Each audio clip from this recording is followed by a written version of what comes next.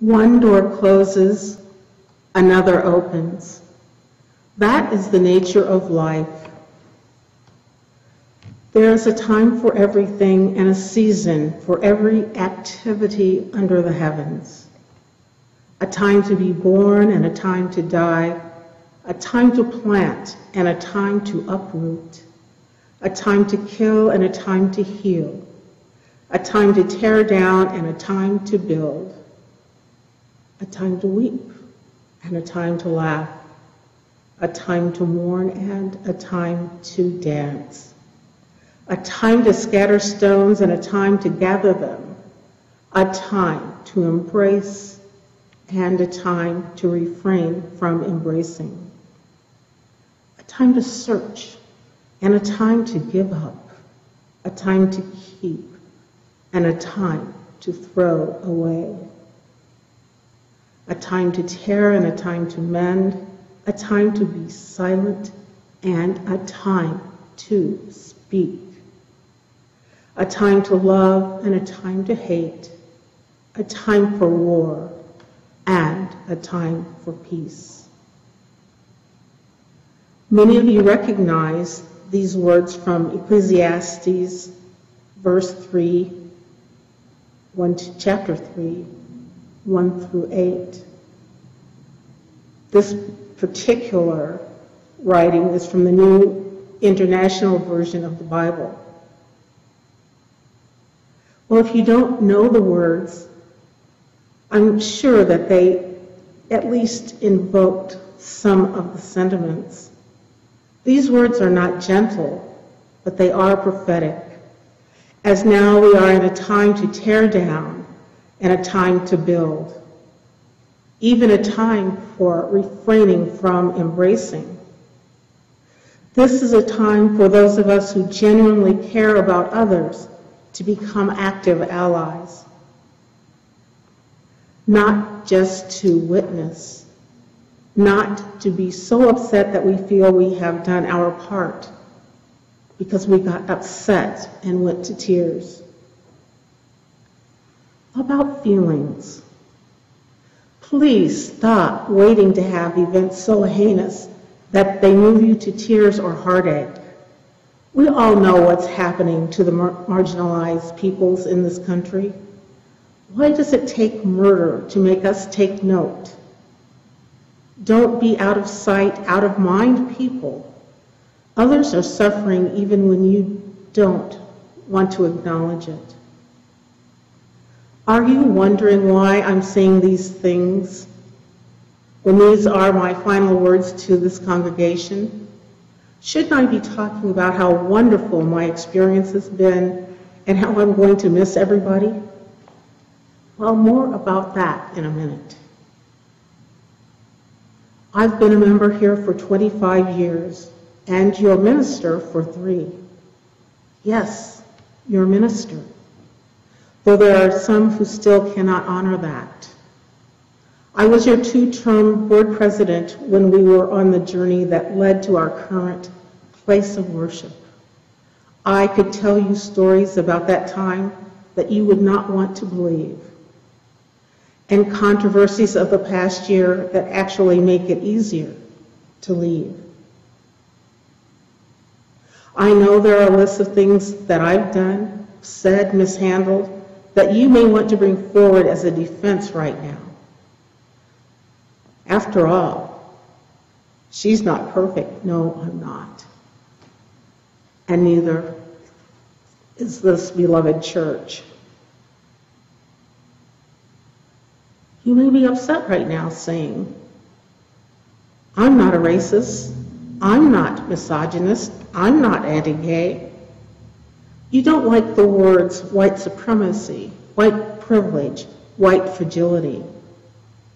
I know some of you are cringing. Why am I saying these things in this public forum?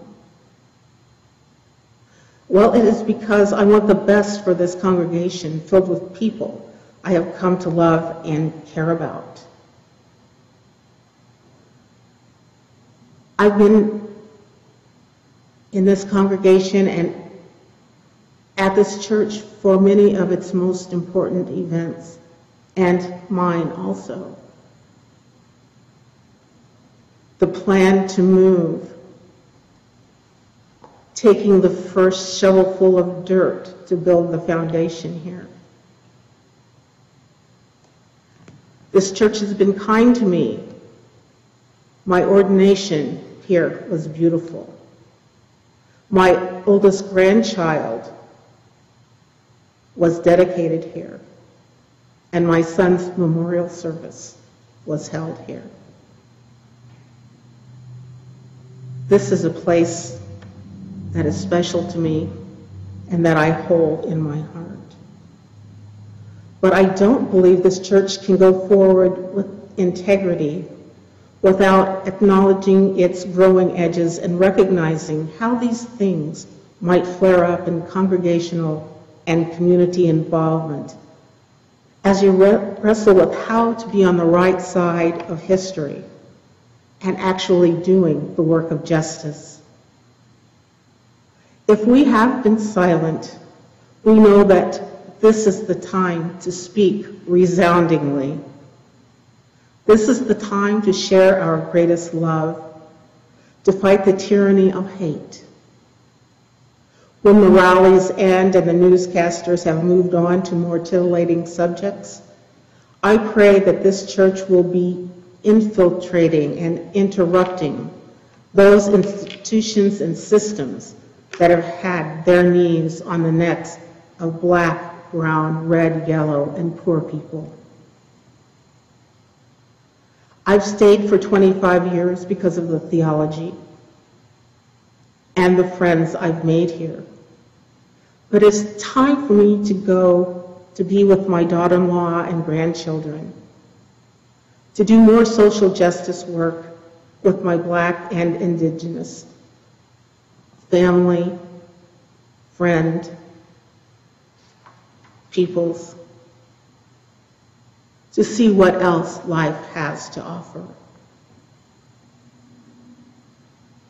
I offer you peace, love, and grace. Peace, love, and grace to you all. May it be so. Moving on. We picked the theme for today's service, mine and Lynnda's last. This only seemed logical because within our life experiences, each of us face many times where we find ourselves moving on. What is the best choice? And sometimes that can be painful and requires us to really reimagine what will be. And other times we come to a fork in the road and it's time to take it, regardless of the time or the reason. So each of us face these moments in our life. How do we end? And how do we begin again? When I am thinking of moving on, I'm reminded of the choice one makes when you're faced with the move. You know, what do I bring with me? What do I leave behind? And what do I take with me when I leave? When I look back at the last 18 months, as far as what I brought, I came here from South Africa. I still remember the first day I arrived in Peoria and it was minus two and I had left South Africa with the equivalent of a temperature of 90 degrees in their summer. And I was really hoping that I could bring warm weather with me. But I was on my way to Peoria, and I was excited about the new opportunity. Another congregation a congregation that had had a minister, Michael Brown, for 28 years. And I knew there would be challenges. And I knew there would be opportunities. And as I arrived and wondered, what I brought with me was the desire to, in the training of an interim minister, and the opportunity to welcome and help a congregation to prepare for a settled minister.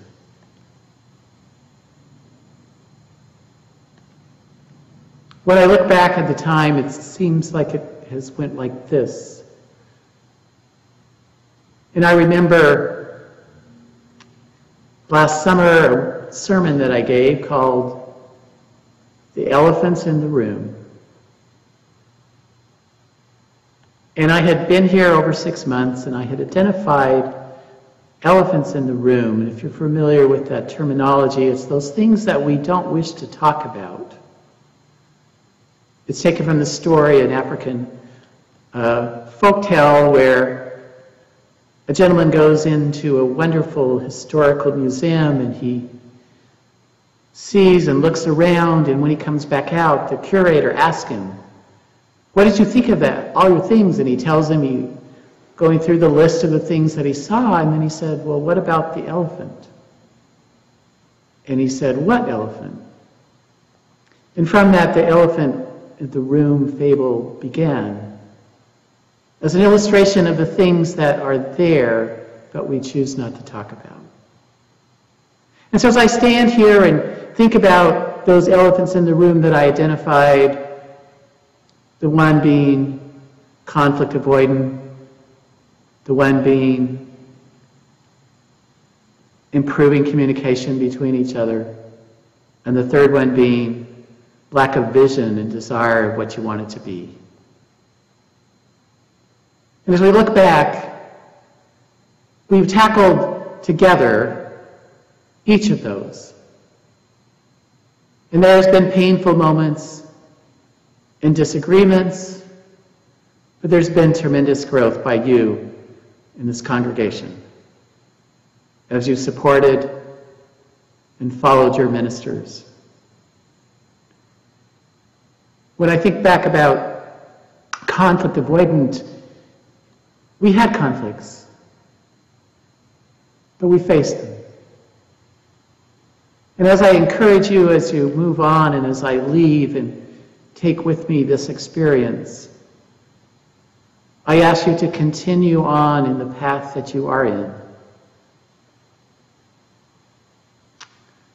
You know, one of the roles of an interim minister is to help a congregation to understand the difference between change and transition. When I came here, I remember that first sermon and I talked about the fact that I knew I would hear things like, We've always done it this way. Why do we need to look at things differently? And as I held up a mirror in front of you and asked you to look, and to try in ways in which better ways of thinking and being and doing. And many of you have responded. And one of those things is to prepare you for a settled minister. And we had this thing called a pandemic that kind of threw Lynnda and I in our last few months of how to do ministry and how to reinvent church and how to do services. But one of the things that I am most proud of is that as a congregation, you found a way to adapt. You found a way to embrace change. And I was so proud of all of you and those who made it happen that you called a settled minister without meeting this person face to face. You need to congratulate yourself of this accomplishment. This tells me that you can change, you can transform, you can begin to become all that you can be and more. When I think of the things that I take with me, I take with me the many cherished experiences that I've shared with you the one-on-ones that I've had with many of you as we talked about challenges and problems in your life. And as I've watched you grow and embrace and begin to solve the issues that you were dealt with. And as a congregation, as you become engaged in a process, in a way to reinvent yourself. I'm most excited that with what is happening in our country and in our nation, that you are rising up. You are recognizing that it's time for the Universalist Unitarian Church of Peoria to take a stand, to be heard in this community. Many of you have done the work as individuals, and now you're finding ways in which you can do it as a UU community. And I admonish you to continue in that work. Continue in the important work of racial justice. Continue to look at your own biases and your own white supremacy as you continue to do the hard work that our people of color have asked us to do for so many years. In a move, we take things with us. I take with me the privilege of having been called to serve you in the growth that you have given to me. I have been changed because I have known all of you. And so, how do we move on and how do we end?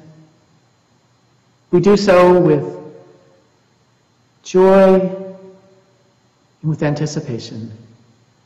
And may, as you prepare to have a settled minister here, may you continue in the work that you have started with Reverend Lynnda and myself.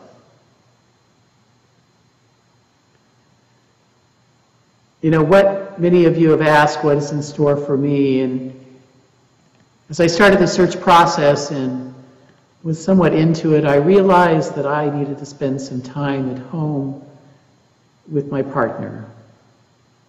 He has been a trooper as he supported me through the interns, as he supported me through South Africa, as he supported me here. And so together we're going to have a wonderful summer, the first summer we've had in over three and a half years. And in the fall, I will resume my search for another interim opportunity. There's a song from the musical Wicked that I think sums up some of the feelings and thoughts that I have about each of you.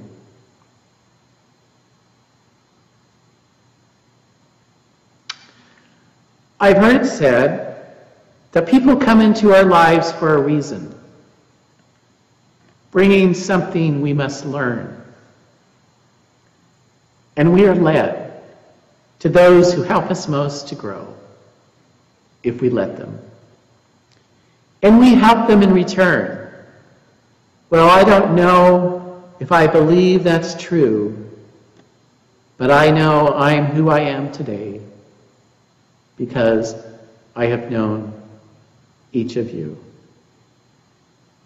Like a comet pulled from orbit as it passes a sun, like a stream that meets a boulder halfway through the wood. Who can say if I've been changed for the better? But because I have known each of you, I have been changed for good. It well may be that we will never meet again in this lifetime.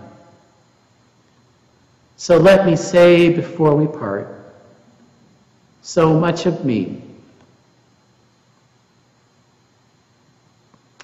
is made of what I've learned from you.